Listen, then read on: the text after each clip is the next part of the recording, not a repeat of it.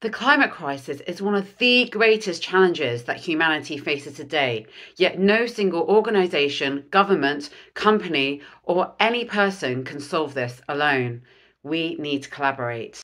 We need to work together to reduce greenhouse gas emissions, to increase renewable energy, to restore and rejuvenate ecosystems, and to create a more sustainable future and just future for all. Collaboration also means scaling up and sharing resources so that these solutions can be made accessible to everyone who needs them.